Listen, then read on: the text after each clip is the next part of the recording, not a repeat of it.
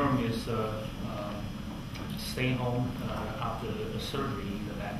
Uh, so I'm in his place to issue the tender. Uh, so I just uh, visited Yoram last week, and uh, he seems to be in, in good spirit, spirit, and also he's doing pretty well. So for anybody who is concerned. Um, so uh, Zander uh, is a professor in Baylor College of, uh, of Medicine, and he is uh, um, currently uh, director of Cardiovascular Research Institute there, uh, a professor in molecular physiology and medicine department. And Zander got his MD and PhD in Maastricht University in Netherlands 2001 and 2002. And he then went to Columbia University for four years as a postdoctoral research fellow, uh, working on uh, the uh, RNA receptor. And then he had his own lab in Baylor College of Medicine in 2005 and quickly raised the rank of professor uh, in 2011. Uh, and he has uh, made a lot of contributions in the understanding of the cardiac uh, physiology, molecular physiology, and also diseases. And he has published more than 140 papers. and along the way, he has collected some awards, including um, here the, the GlaxoSmithKline uh, International Award for Clinical Research, just to name a few not all of them, uh, and also um, the uh, the Keck Foundation distinguished the young scientists in medical research, and also uh, just recently he got the established investigator award from the American Heart Association. Uh, he has been elected a fellow uh, for several uh, societies, including European Society of Cardiology and um, the fellow for uh, Heart Racing Society and also the American Heart Association. Uh, it's a great opportunity for us to hear his research, his talk. It's named New Insights into Atrial Fibrillation Progression. Thank you.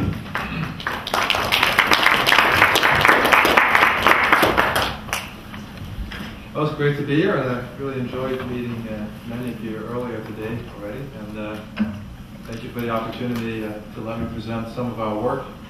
Um, before I talk about atrial fibrillation, just uh, one slide about uh, sort of the general approach we take. Uh, we're interested in both inherited and adult onset disease, and you know, we're very interested in inherited disease because it can directly link a mutation in, uh, in an infant or child to a disease, and that really, uh, you know, identifies genes and proteins that are of great interest to cardiac physiology and pathophysiology.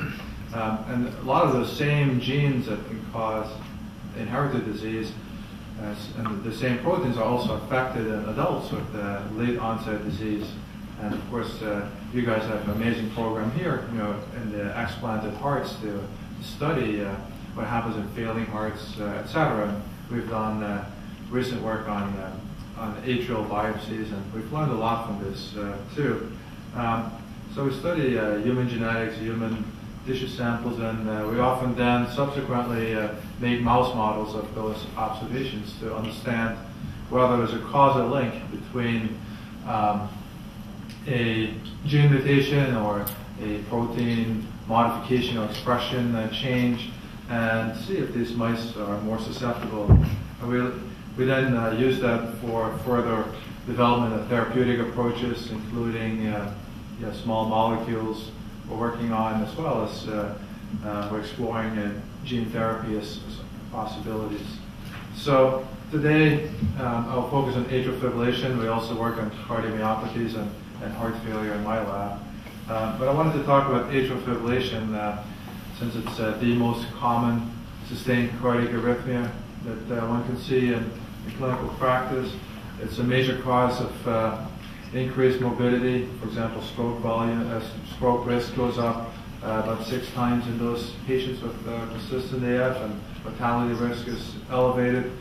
And clinically, AF can be characterized based on the duration of the disease.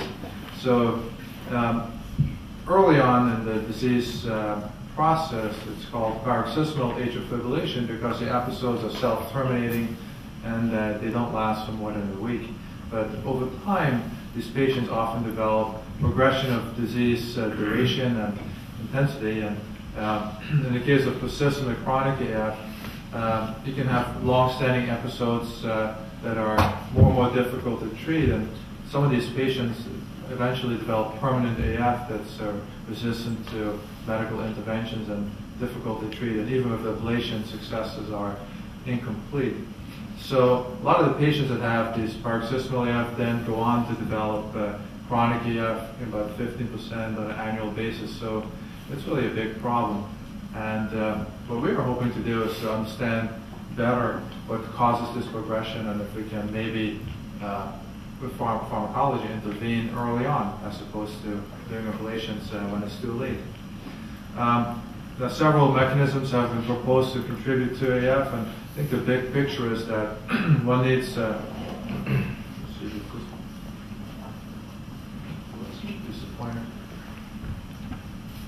You need a trigger to set off the arrhythmia, so to start the first abnormal beat, but you also need a vulnerable substrate.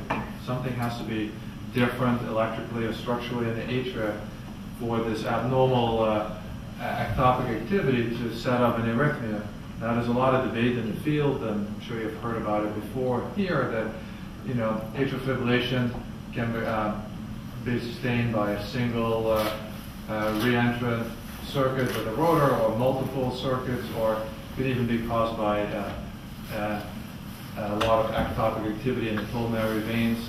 Um, I guess there's probably heterogeneity in the patients and maybe some of or, or all of them contribute.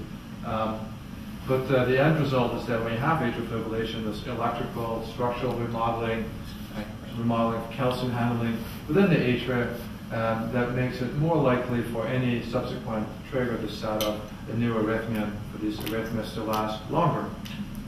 Um, so just talked about the arrhythmia initiation. So we've done some of this work uh, in the past couple of years. Um, the three major mechanisms that contribute to this ectopic activity can have atrial automaticity. So you get uh, cells that behave like pacemakers, but they're not the SA node, they're elsewhere in the atria. You can have delayed after depolarization, so you can have additional action potentials that emerge immediately following uh, the previous action potential, but before um, the sinus node is firing and activating the atria. We can have early after depolarizations that can take off during repolarization and uh, then uh, re-excite this action potential uh, for delayed after depolarizations, and probably to some extent for the early after depolarizations too, calcium handling abnormalities are uh, very important. Um, since I'll be talking about calcium handling a lot, I'll just review the basics and sort of ex explain how you can get a DAD. So calcium uh, well, excitation contraction uh, is started when the voltage-gated calcium channels that are actually not shown here are activated, and a little bit of calcium enters the cell, and it activates the uh, receptor calcium release channels on the sarcoplasmic reticulum. That's where all the calcium is stored in the cardiac myocytes. You get a much greater release of calcium um, from these stores, and this uh, initiates contraction of the myofilaments and the cardiac myocytes. Now, whatever calcium is released from the ryanodine receptor, the RAO2, will then be pumped back into the sarcoplasmic reticulum for the SR-ATPase, or SERCA2. And whatever calcium came in to the cell will be removed by the sodium-calcium exchanger.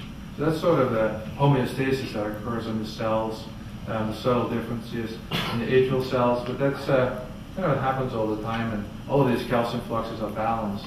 Uh, what can happen uh, uh, in the case of a uh, delayed after depolarization, and I'll show some of the experimental data, is that you can get uh, spontaneous opening of these ryanodine receptor channels during diastole when they should be closed. So you get this additional calcium leak the cell is trying to get rid of this calcium, so the sodium calcium exchanger is reactivated. It will get rid of the calcium, but in return, you get sodium that enters the cell. And as you all know, an action potential can actually start when there's enough sodium coming into the cell. That's how you can get these additional action potentials.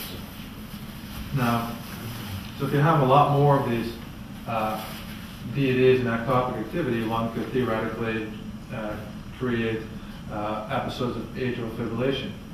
Now, this concept of atrial fibrillation begets atrial fibrillation was actually first described, I think, in 1995 when I was a medical student in, in the Maastricht, the Netherlands, and Maurits Alessi and Heimels and others worked on this. So the concept is if you have uh, short episodes of atrial fibrillation it induces remodeling, electrical remodeling of the atria, and that makes it easier for uh, atrial uh, fibrillation to become persistent. Um, and this concept has been known for about 20 years, I think there's still some key concepts that are unknown. For example, uh, a lot of the studies have focused in patients on uh, patients with chronic AF, but very little is known about the paroxysmal AF state. So I'd like to present some of our collaborative work with uh, Dobromir Dobrev on the cellular mechanisms that can uh, cause uh, paroxysmal AF in uh, patients without extensive atrial remodeling.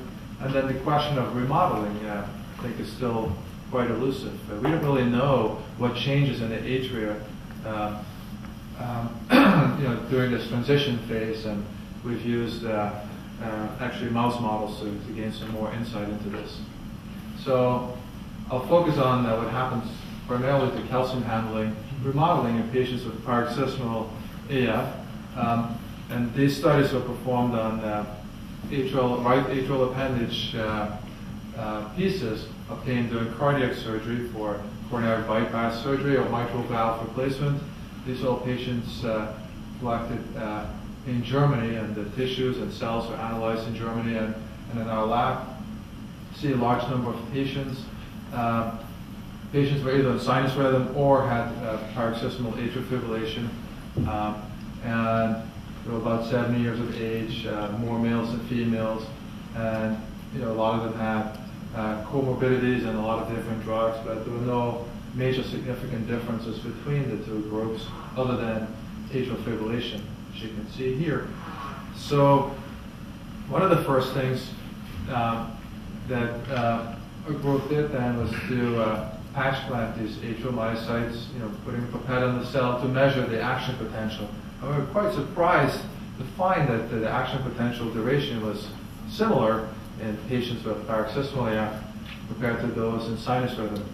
So there seemed to be an absence of uh, electrical remodeling in paroxysmal AF. We measure these action potentials at you know 20%, 50%, or uh, 90% repolarization. There were no significant differences, uh, and the amplitude of the action potentials were also the same.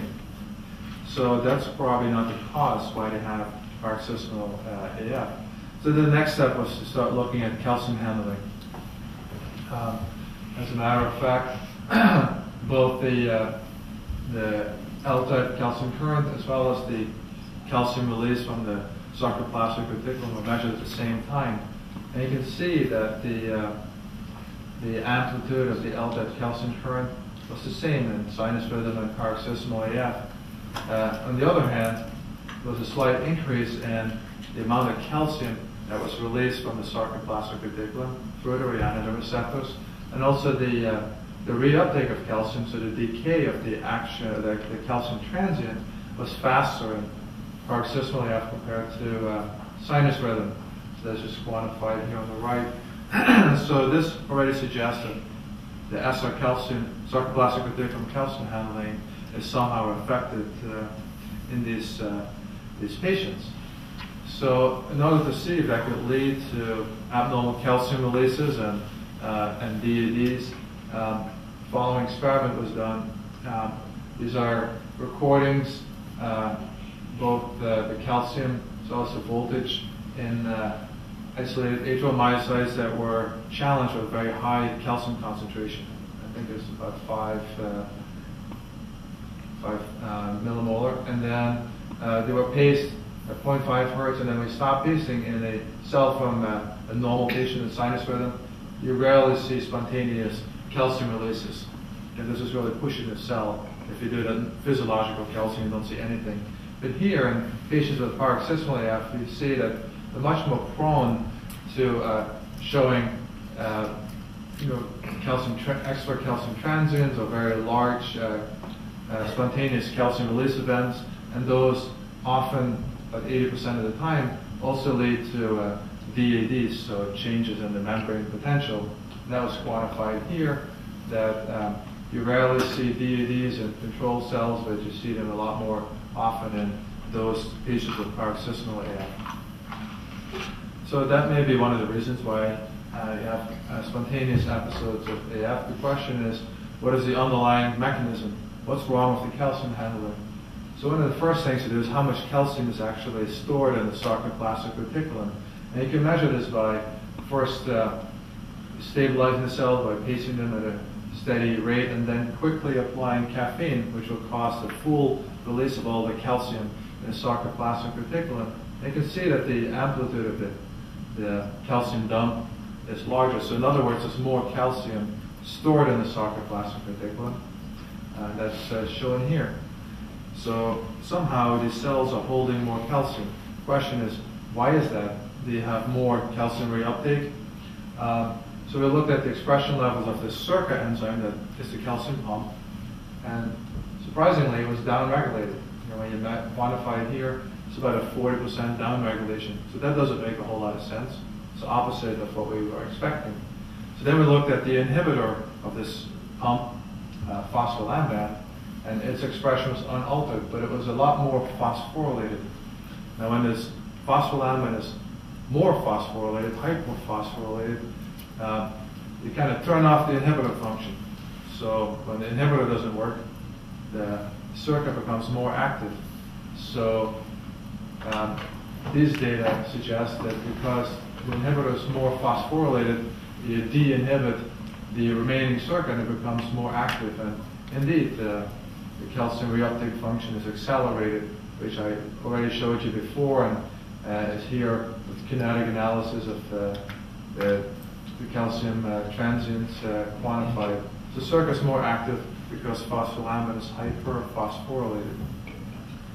Now, does that uh, so that's the, the reuptake part. What about the release? They have more or less release.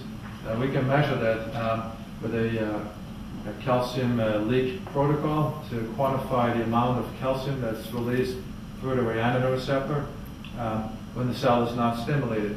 So again, you obtain steady state by pacing at 0.5 hertz, and then quickly you change the solution to zero sodium, zero calcium, so no calcium can go in and out of the cell, and then you add tetracaine that not only blocks the sodium channel, but also blocks the rhianodin receptor. So any change in the baseline is the inverse of the amount of calcium that's leaking through the rhianodin receptor. So we can uh, divide this amount of calcium leak by the total amount of calcium that's available in the sarcoplasmic reticulum. And then when you take the, the ratio here, you can see that uh, it's about a doubling of the amount of uh, calcium leak from the sarcoplasmic reticulum in patients with paroxysmal AF compared to the patients in sinus rhythm. So that seems to be counterintuitive. If more calcium leak, yet you have more calcium loading. On the other hand, if you have more calcium that's stored in the SR, then maybe you know that's why it's leaking more because you just uh, have more uh, pressure, so to say, because the calcium is built up. Now the question is why it is these rhianodin receptors uh, leaking or why there's a more total leak. So you could have more channels or you could have per channel, you know, more activity. So to see what happens per individual channel, we can do single channel recordings. So these rhianodin receptors are deep inside the cell. You cannot put a patch that on the cell. We have to isolate these uh, channels and then put them in an artificial lipid bilayer. And then you can record the single channel activity in a planar lipid bilayer uh, in the presence of a low amount of cytosolic calcium, rhianodin receptors you know, rarely open in uh, control patients. So every blip here is a channel opening. You can see in patients with paroxysmal AF, uh, you can see much more frequent uh, cal- uh, uh, channel openings, and Uh, that's here the quantification of the individual data, and again, the average is about a five-fold increase in single channel activity. So somehow these channels are more active. Um, in addition, we wanted to quantify the total number of ryanodin receptors for Western blotting. You can see here you have thicker bands in paroxysmal AF compared to sinus rhythm.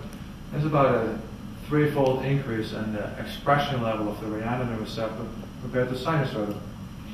Now, I did not, I won't have time to show you, but we've shown in several studies that patients with chronic AF, that the ryanodin receptor is more phosphorylated. That might be one of the reasons why these channels become more active.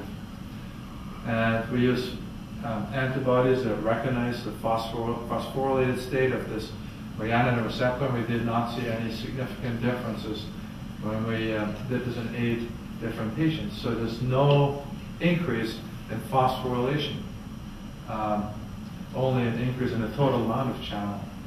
Um, so that was a little bit surprising because um, you know, several studies have demonstrated that the hyperphosphorylation of the ryanodin receptor is responsible for the uh, hyperactivity of the channel, which is not the case in, par in paroxysmal AF. So, so far, I think we've made a few uh, new observations in patients with paroxysmal AF. First of all, there's no electrical remodeling, at least in terms of the action potential duration. Of course, we did not measure all the, uh, the currents. Um, but there is pronounced calcium handling remodeling. Um, first of all, there's an enhanced propensity to spontaneous calcium release events, which you know do correlate with trigger activity and arrhythmia initiation, uh, more delayed after depolarizations. And that's probably because there's more loading of the sarcoplasmic reticulum due to enhanced calcium reuptake, which in turn could be caused by phospholamban hyperphosphorylation. And on the other hand, it also drives uh, ryanodin receptor-mediated calcium leak, uh, which is caused by increased expression, but not by the increased phosphorylation. So that's different compared to uh, chronic AF. So the question remained is, you know, when I showed you the single channel recordings, the ryanodin receptors were also more active. So even though you have more channels, every individual channel is more active. So why is that? And that was still uh, unexplained at the time. Now, we had a, so you know, what's the molecular basis for this? And we had another study that was um, happening in the lab that maybe uh, will shed some light on this. So we've been interested in junctophyllin. Um, it's more of a structural protein in the heart, and uh, it uh, was cloned in 2000 and was shown that it's sort of a uh, connector between the plasma membrane and the T-tubule and the sarcoplasmic reticulum. And 2007, it was shown that inherited mutations in junctophyllin can cause hypertrophic cardiomyopathy in patients. Um, now, we looked at uh, the levels of junctophyllin in patients with paroxysmal AF. Uh, this is another set of uh, samples. And what we found is, just like before, the ryanodin receptor expression is increased by about threefold, uh, and the, but the level of junctophyllin was unaltered, as you can see here on the total. But when you take the ratio, how many junctophillins per ryanodin receptor, it's actually decreased. And uh, we think this may be relevant because junctophyllin can negatively inhibit. It's a question. The ryanodin. I ask you a T-tubule question. Yes. Because in your previous slide, clearly showed T-tubule was the gate. And, and did you have a chance to compare the T-tubules in the AFib and, uh, and the other people? Are they like detubulated or is there any changes like that? Um, well, that's a good question. So in the atrial myocytes, there are not that many T-tubules at all, so we did not really focus on that. Uh, but we have generated mice in which we can acutely knock down junctophyllin, and then the T-tubules go away, or at least a lot of them disappear. Also, when we look at development and we downregulate junctophyllin, the T-tubules um, don't interconnect and branch out as well as in the wild-type mice. So I think there's a strong connection between the level of junctophyllin and T-tubules. But mostly in the ventricle, do you have an idea of who's in charge? In other words, is it the T tubules that limit the junctifilin, or do you down the junctifilin, the T Well, based on our development paper, you know, we did downregulation and overexpression. Seems like uh, the level of junctifilin drives the T-tubule formation. Um, But I think in the atria, the T-tubules are less important. Uh, But we, what we found in this study, and I'll get to the the punchline, is that junctifilin binds to the rhianodin receptor and that it actively regulates it. And when you don't have junctifilin, rhianodin receptors become more active. Actually, it's shown here. So we made mice in which uh, if you knock out junctifilin, mice die. So it's a bad model. But we can uh, knock it down with shRNA. So we did a cardiac-specific knockdown. So we get rid of about 80 to 90% of the junctifilin. Mice survive. Uh, actually, we made an inducible one. So they, they survive till adulthood, and then you give them tamoxifen, get rid of junctifilin, and then actually they die within a week or two. But during that time, we can harvest the hearts when junctifilin is mostly gone. And then when we do single channel recordings in mice that are lacking junctifilin, rhianodin receptors are a lot more active. And when we add a peptide um, that corresponds to the domain of junctifilin that binds to the rhianodin receptor, we can completely reverse this. And uh, here, in the take the knockout mouse and add the junctifilin peptide. So junctifilin actively regulates the rhianodin receptor, and you can, um, when you're lacking junctifilin, channels are hyperactive, and you can fix that uh, with this peptide. So, so we were then we're wondering, well, is the level of junctifilin binding to rhianodin, or just in general the level of junctifilin? Does that correlate with the, the, the you know, inducibility of atrial fibrillation? So we had junctifilin transgenic mice that have more junctifilin in the heart, normal mice, wild type, and junctifilin knockout mice that barely have any junctifilin. These are the expression levels. And then we compared these mice. So we put a catheter in the mouse hearts that uh, programmed electrical stimulation. Um. Then we found that uh, you know the non-transgenic mice occasionally have AF. When you look in the transgenic mice, it's less, but um, there's not an impressive uh, difference. But on the other hand, in the knockdown mice, the majority of the mice had inducible atrial fibrillation. And when you did the statistics, so it's really a sort of a dose-dependent uh, increase in atrial fibrillation. You know, when you started decreasing the levels of uh, junctifilin. Now, that's uh, sort of the dose response. And uh, we, uh, our collaborators in Italy found this uh, family. And the proband was actually a young kid, about three or four years old, who presented with hypertrophic cardiomyopathy and paroxysmal AF. And the father also turned out to have occam and also supraventricular tachycardias. And they turned out to have a mutation in junctifilin. And this particular residue, the E169K, that's uh, in the domain that links the junctifilin to the rhianodin receptor. And um, we also identified other uh, patients with hypertrophic cardiomyopathy that did not have atrial fibrillation. And those are these other mutations that are shown. We uh, made uh, knock-in mice with this, this particular mutation as well as this other mutation that clinically does not correlate with atrial fibrillation. And when we immunoprecipitated the rhianodin receptors from hearts of those mice, and then looked at the amount of junctifilin that was uh, binding to the channel, you can see that the non-transgenic mouse, the wild-type transgenic, uh, or the, the well, it's a transgenic cross with the knockouts. It's sort of a knock-in mouse of a wild-type junctifilin. This thing is not here. Uh, here's the E169 169K mutation. You can see that junctifilin can barely bind uh, to the rhianodin receptor, and this is the other disease-causing mutation that does not affect the binding.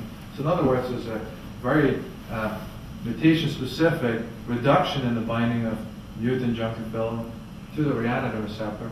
And what we then did is, again, EP studies on these mice, we found atrial fibrillation in the E169K uh, mutant mice. You can see very fast atrial activity, irregular QRAS complexes on the surface EKG, and you know, slower but irregular ventricular contractions.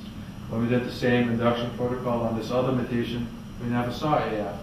You can see that here. So uh, these are short episodes, uh, not spontaneously, but at least I think it proves the point that if junctifilin, even though the total junctifilin levels are the same as in the wild type mice, but when junctifilin cannot bind to the rhianodin receptor, these mice are more susceptible.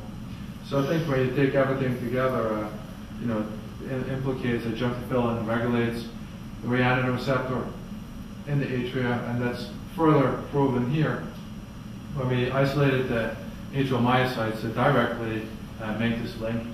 So atrial myocytes isolated from the wild type uh, mice, uh, E169K and this other mutation. And then we looked at the uh, amount of calcium sparks the spontaneous calcium release events.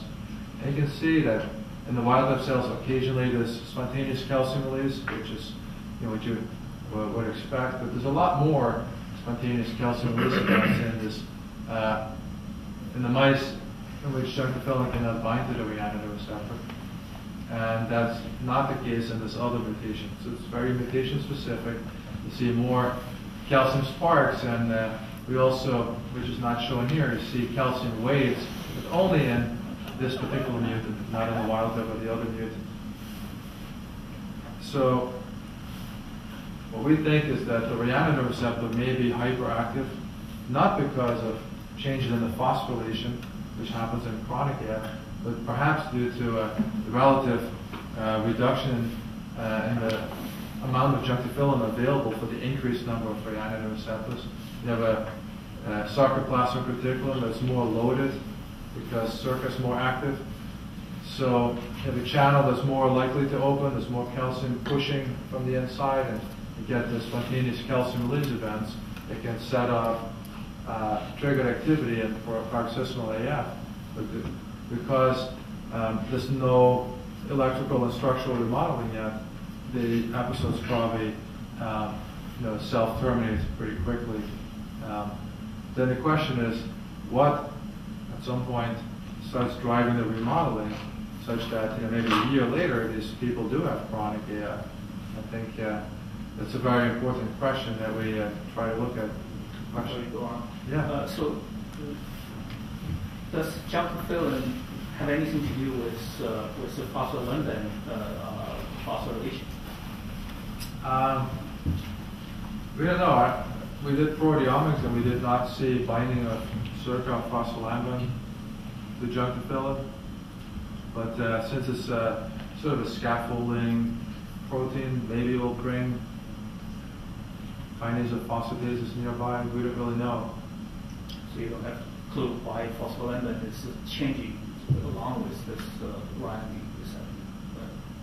No, we don't really know. Uh, well, wh- why the, the PK phosphorylation of phospholamban is up, but not the phosphorylation of the rhianodin receptor? We don't really know. I think uh, maybe it has to do with the local uh, you know, inhibitor or, or phosphatase activity that's suppressed or something along those lines. I mean, it does argue for very localized control of the phosphorylation. That's something we're interested in in general. Because in other states, uh, rhianodin receptors are hyperphosphorylated and then phospholamban is unaltered. So I think the different disease states in which um, the phosphorylation of one but not the other one is affected. And I think we have to look at local kinase activity, local uh, phosphatase activity, and really sort this out. Uh, it's a very complicated issue. All right, so, you know, in humans, uh, maybe you could study this if you have serial biopsies, but that seems to be a, an issue. Um, so I'm still looking for folks who uh, can biopsy the, the atrium patients, but, uh, you know, so we really have to go to mice or, um, we can go to large animals too, of course, um, but it's harder to do genetic interventions. So we were lucky that one of our collaborators found this uh, mouse model that's a cyclic AMP response element, or CREM. And when you overexpress it in the heart, these mice uh, show a sort of a human-like uh, progr progressive uh, development of atrial fibrillation. Here's the age of the mice. So at six weeks of age, they all have sinus rhythm. They spend most of the time in sinus rhythm. But then by, by about you know, two to three months of age, they start developing spontaneous atrial ectopy, which over time uh, leads to more long-lasting episodes of atrial fibrillation that eventually become persistent. So, um, and I have to say, in the absence of a uh, profound ventricular phenotype, so they have a little bit of ventricular fibrosis, but uh, the EF and the, and the, dimensions are pretty normal, even in the older mice. So uh, here's sort of a quantification in our own lab um, from this mouse model. So at three months of age, the normal sinus rhythm of wild type mice and the CREM transgenic mice start exhibiting these atrial ectopic beats. And I'll talk about the double mutant a little, a little bit. So they have spontaneous atrial ectopy, but at three months of age, they never have, uh, you know, spont uh, spontaneous atrial fibrillation. When you look at seven months of age, when these mice are older, then they do have uh, uh, atrial fibrillation, and that's quantified here on the bottom. So they still have uh, atrial ectopy, the transgenic mice, but they also have spontaneous atrial fibrillation, and at this age uh, can last uh, 500 minutes, so that's hours at a time. When you look at five months in between, you know that the, they also have atrial fibrillation, but only about half the mice, and the, the average duration of an episode is only about 30 minutes. So not only you know, between five and seven months, you get a lot, a lot more mice that AF, but also the episodes are tenfold or twentyfold longer, so they're, they're pretty much in AF uh, half the time or more. Um, now the question is what happens to the molecular sort of uh, remodeling of calcium handling. So one of the things we've been interested in is uh, uh, the calcium calmodulin dependent kinase. There's a chronic AF that really seems to be one of the driving factors that alters calcium handling and in particular ryanodin receptors and, and phospholamban. So we looked at the amount of calcium calmodulin kinase and uh, that was not really uh, significantly altered in the CREM, the wild type and CREM mice over time. When we looked at the phosphorylation of CAM kinase itself, uh, the autophosphorylation goes up and the enzyme is more active, you can see that you know, these bands getting darker and darker. So there's an increase over time, starting at three months early on, but then the seven months is even more pronounced. Comparing the white and the black bars, that uh, kinase becomes uh, autophosphorylated more active. And that also leads to increased phosphorylation of the ryanodin receptors. So uh, at a young age, uh, this very minor, but it's, it's significant, but it's very modest increase in the chem kinase phosphorylation of the ryanodin receptor at CRA in 2014, the main uh, phosphorylation site. And then by seven months of age, it's really a doubling of the phosphorylation. We also looked at phospholamban in these mice, and you know, the, the summary is there's no difference in uh, the phosphorylation of phospholamban. There's also no difference in PKA phosphorylation of the ryanodin receptor, so it seems to be very specific to chem kinase phosphorylation. So, so perhaps uh, activation of chem kinase over time uh, you know, drives this uh, progression of atrial fibrillation. So the question is, can we block the leakage of calcium with a chem kinase blocker?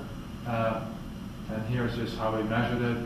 We added a uh, chem kinase inhibitor K93, and you know, compared to uh, from wild, atrial cells from wild type mice, did about a doubling or two and a half fold increase in the SR calcium leak from the sarcoplastic reticulum, and that could be fully blocked with a chem kinase inhibitor. This leak is so bad that you even get a, a reduction in the SR calcium load. So the leak is not due to an increase in calcium loading, but um, the reduction is probably a consequence of the leakage. Anyway, so we found that uh, chem kinase may be causally linked to the leak of calcium. Yes? Sorry. Um, is this just acute administration of the K9? Yes, it's just acute, uh, you know, um, you throw it on the cells and then see what happens to the leak.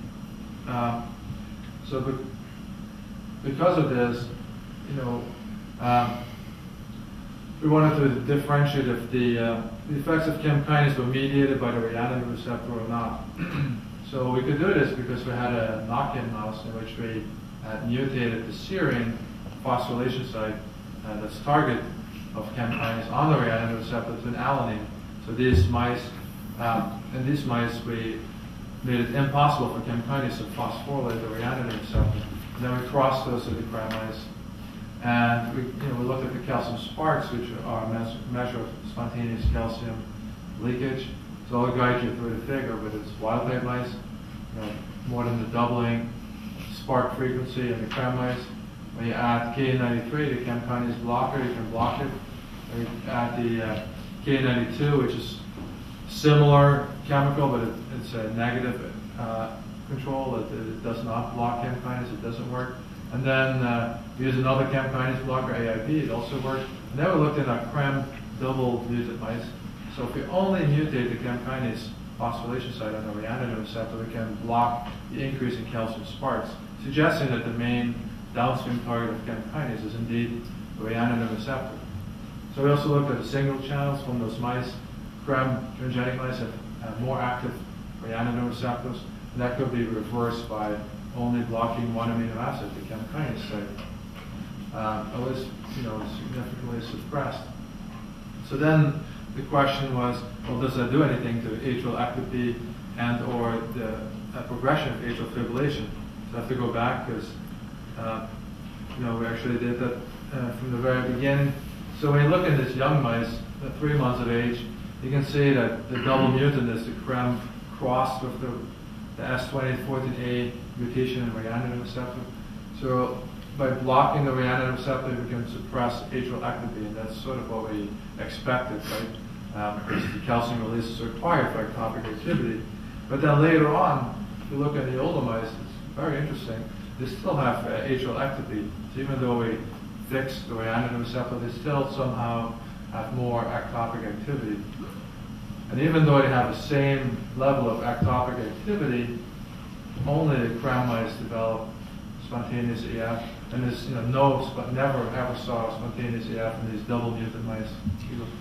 Have you looked at the, what exactly is anatomic location of those ectopic beats? Um, yeah, that's a little bit harder in the mouse. We, I'll get to the optical mapping in a second, but uh, we don't really know if they're on the pulmonary vein or from somewhere else.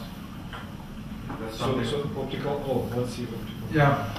So I think you know, there's a dissociation now between ectopic activity, which is not rescued, and then on the other hand, you know, we find it very interesting that these mice, double mutant mice, never develop spontaneous AF. So, so one is a sort of substrate for the induction of AF, even if they don't have spontaneous AF. Uh, so we looked at that with uh, uh, overdrive pacing studies with the catheters in the, in the mouse hearts, wild type CRAM mice and the double mutant mice. So if we took a five-month-old CRAM mouse um, that had some atrial ectopy but no spontaneous AF, and then we did overdrive pacing of the atrial stop, we could often induce atrial fibrillation. In the double mutant mice, we were never able, never able to induce atrial fibrillation, as shown here. So it seems like there's just not a substrate for AF in those mice. So why is that? So that's why we went to optical mapping. Um, so we cut off the atria and then um, actually did calcium and voltage mapping, but I'm only showing the, the voltage here. Um, first of all, you can see that the atria are larger, you know, cover more area than the wild type mice. And uh, uh, we looked at CRAM mice that were in sinus rhythm and CRAM mice in spontaneous AF. Here you see like areas that are not even electrically uh, active, uh, so they're really in bad shape. But clearly you can see uh, abnormal, you know, conduction here in the CRAM mouse, even though they're in sinus rhythm. Compared to the wild type mouse, we can see very nice isochrones. In the double transgenic mice, you can see it's almost a full restoration of the, the activation uh, uh, maps. Now we looked at the action potential duration in those um, isolated hearts. You can see that the CRAM mice have longer action potentials. Uh, there's no difference in the CRAM mice that ha- were in sinus rhythm or in uh, atrial fibrillation prior to the ex- excision of the heart.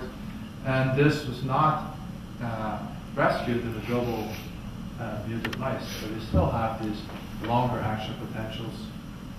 So in other words, this part of the phenotype is not affected by mutating the rhianodin receptor, preventing this calcium leak. You still have electrical remodeling. We also looked at the conduction velocity, and it was uh, reduced in the CRAM mice, but this parameter was actually uh, restored by mutating the rhianodin receptor. Um, now, why is that? Well, one of the main reasons I think why conduction velocity might be affected is remodeling of connexins. And uh, you can see here that um, when we look at the connexin 40 levels, there's a reduction uh, in the gram transgenic mice and uh, restoration in the double mutant mice that's shown here. So that may be one of the reasons. I know it's a lot more complex, but uh, gram transgenic mice lose connexins, and we can prevent this loss of connections in the double mutant mice. Um, so then we looked at atrial size, because as you know, dilation of atria is a major risk factor for AF.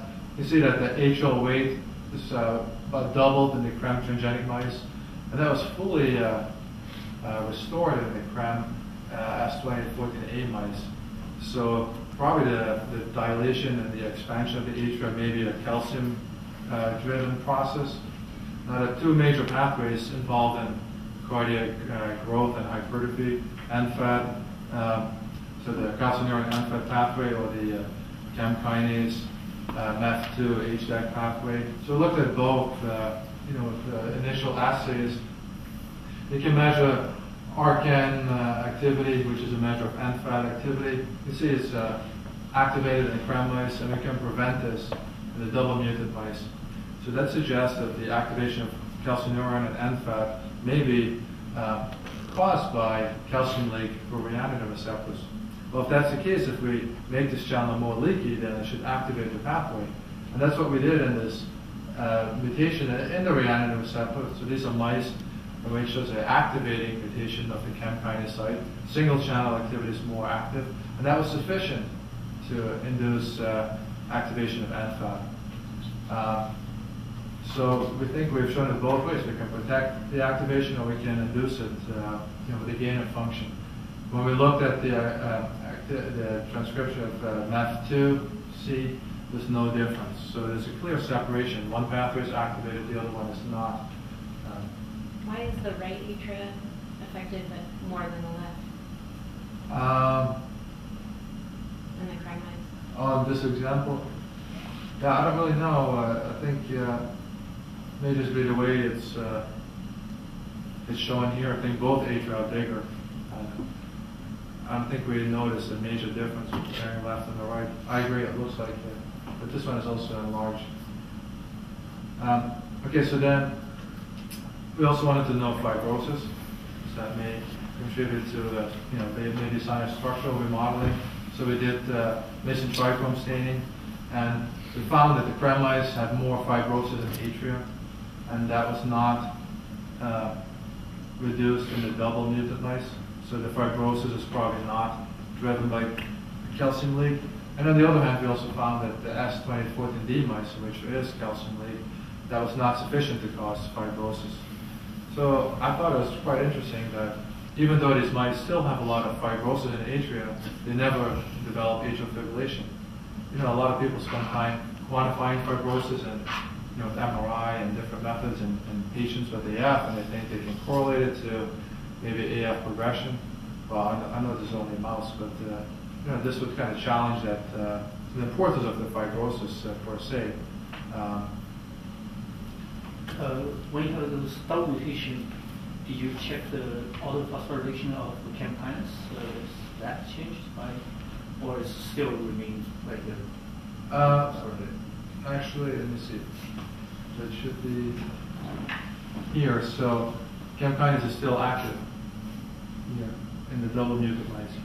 But the, the phosphorylation of the rhianodin receptor, of course, because it's genetically mutated, it's gone. So yeah, so the CAM kinase is still activated by the CRAM, but we kind of block it at a downstream level. Now, let me see, coming to the end, the question, the reviewers asked, oh, well, that's really nice, but is it even important for patients? Can, can I ask a question about the, the fibrosis and the, also the atrial size? Did you look at that in five and seven months like you looked at some of the other data? Is this a progression? Is this something that's going on?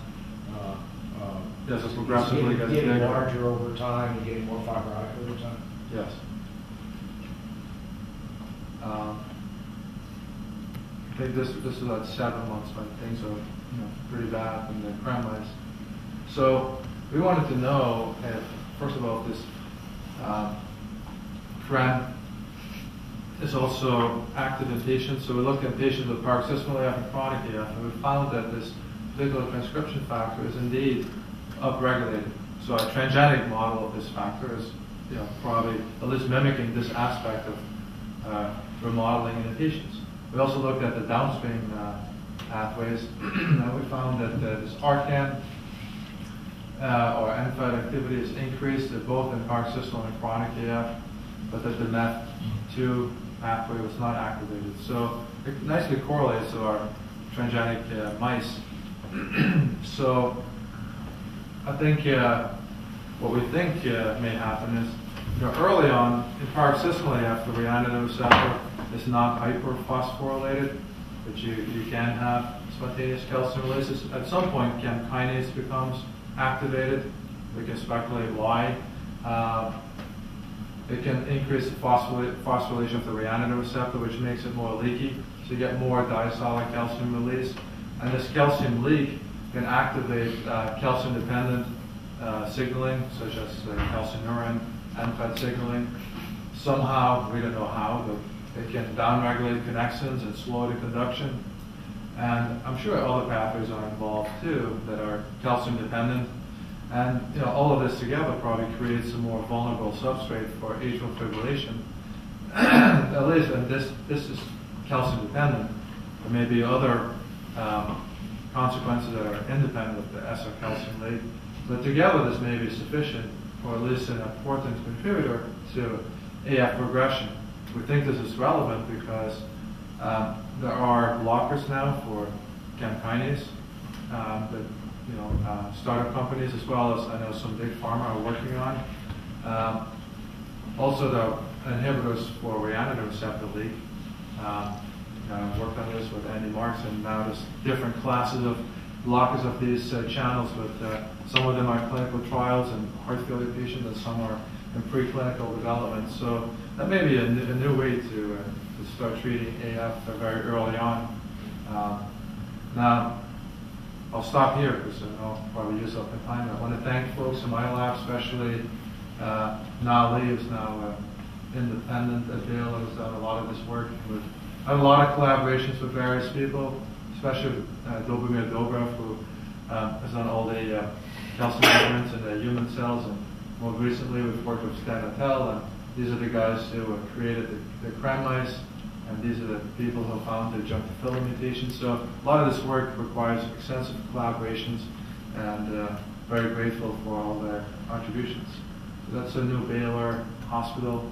Case uh, you guys want to visit Houston, this is the Met Center. It's a whole city, and then Baylor recently built their own hospital uh, next to the VA, and it's uh, where I wanted to end. So thank you very much. Uh,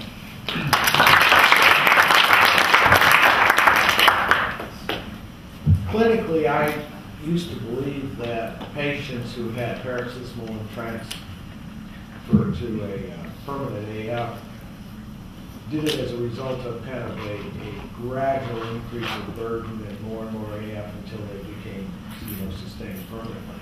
There's been some recent data, however, uh, there's a, group that looked at recording pacemakers in patients, and what they found is, is basically the transition was quite sudden.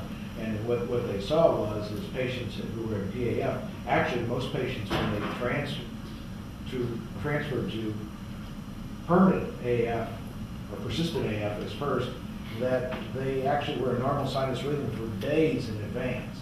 So it, it, seems that this whole idea that there's a kind of a continuous remodeling due to the atrial fibrillation is not really what's going on, but rather there's some other underlying mechanism. And I was just wondering how you think that data fits in, and what is it that triggers it to kind of go over the line mm-hmm. that, you know, there's almost no change in burden. In fact, in this group of patients they looked at, the patients with low AF in particular, their burden actually kind of went down over time. I guess probably because they were being treated with lots of different drugs that did that. But there was obviously some underlying process. In the patients who had associated coronary diseases, cardiovascular diseases like mitral valve disease and, and, and you know, coronary disease and things like that, their burden did increase slightly, but not much. It was almost all, all the patients when they went, when they transitioned from PAF to persistent AF, it was a sudden event that was, was, there was no warning really that you would expect. Well, you know, I think those are very important observations uh, that are often difficult to, you know, to translate or to correlate with uh, some of the more mechanistic findings. Uh, you know, it's possible that there is subclinical remodeling in those patients, and, and when you hit a certain threshold of, say, if these pathways are important, if you hit a certain threshold, then you're more likely to, to go into AF. It's a possibility. Uh, you know, maybe there's a sudden change in innervation of the atria or stretch that can further exacerbate, uh, you know, subclinical remodeling. I think we, we don't really know, right? Um, so this chem kinase may be important because it's regulated not just by the rate. So I think that's maybe a mechanism why when you have AF, you can keep this enzyme active as a driver of remodeling or ectopic activity. but it's also a sense of oxidative stress, of changes in, in glucose. So it's sort of a cellular sensor that can be activated quite suddenly if something were to change, ischemia, uh, dysregulation of glucose metabolism. I mean, these are all speculations. Yeah, I'm just curious. You know, I, I think there's only one way to find out is to, to go to patients and do these measurements, and I talked with Igor before. So in You know, that can we Cram model- follow calcium over time in patients? Did that show a gradual increase in the burden of, of, a- of PAF before it became continuous, or, or was it a, you know, was it sudden, or, you know, that graph you showed? uh, And in the visual mice, Yeah, uh, I think it sort of slowly progressed, I think. But I, I, cannot tell you, I don't remember myself, you know, if there was some mice that out of the blue had AF, or if they have more and more ectopy and then transition. We never really looked at it, you know, at a single animal level. So maybe worth doing that. We still have the data.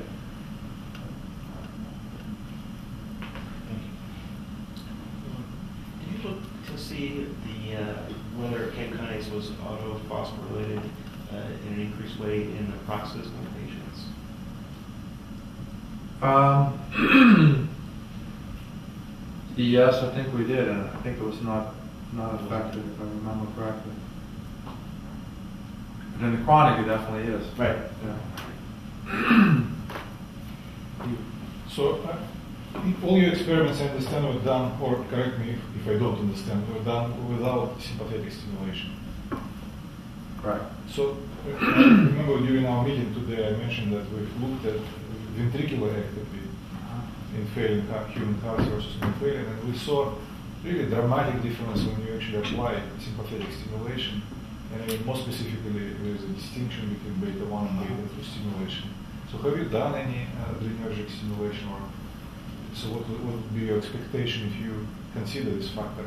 How much more, what would be exaggerated difference, let's say with ju- junctofilin, for example, mouse?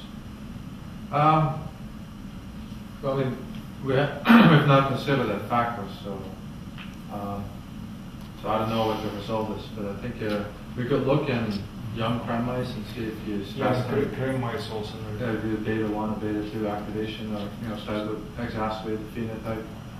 That could be quite interesting. Um, we just look, look at, you know, sort of more the, the monogenetic types of AF.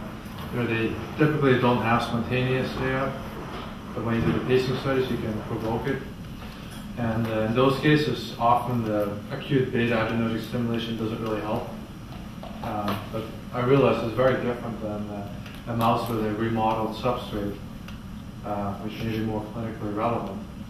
So I think that's a good suggestion. Uh, we, we can try it.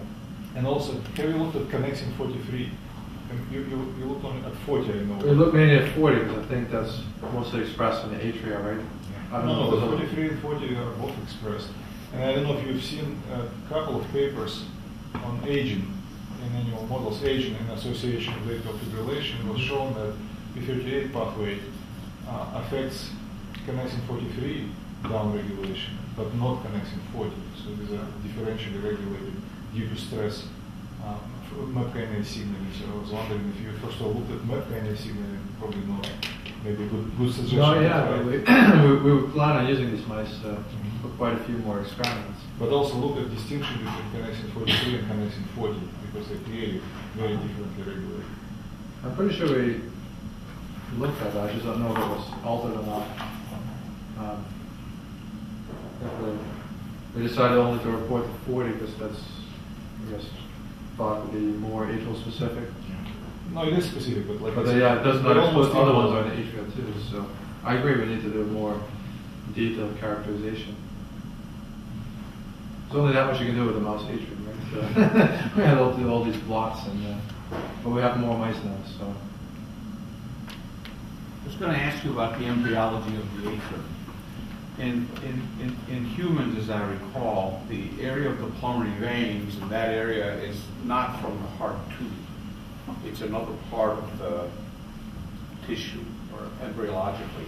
And so that suggests that, um, depending on where you, at least in human atrium, I don't know if it's true in mice, that's my question, Mhm. which is if their embryology is the same and a piece of their atrium comes from, not from the cardiac tube, it suggests that it may matter where you get your sample from when you do isolated cell experiments. And that's my question, which is, have you looked at different pieces of the atrium? Do pulmonary vein regions behave differently than other regions? Uh, This is a good question. I, I believe that also in mice, uh, you know, the pulmonary vein areas are derived from a very distinct population during development. Uh, I wouldn't be able to name it, but uh, I've discussed it a few times with colleagues. Uh, you know, what we're hoping to do is at some point to maybe cut this atria open and look at the pulmonary veins with optical mapping to see, you know, do you have a lot more activity in those areas? We're just looking at such a tiny tissues and, you know, if you like slice it open, then you might damage it. So we've been reluctant to do that for the first study, but uh, I know we have to go there at some point. Um, so Because, you know, in the maze procedure, in, in humans, they try to isolate the pulmonary vein Yeah. because they believe that, that that's one of the. well, uh, ablations too, right? A Yeah. lot of people try to do this, but I think there's a lot of discussion if that's the best approach or not. So um, our goal is to put the ablation people out of business. So. Don't tell them.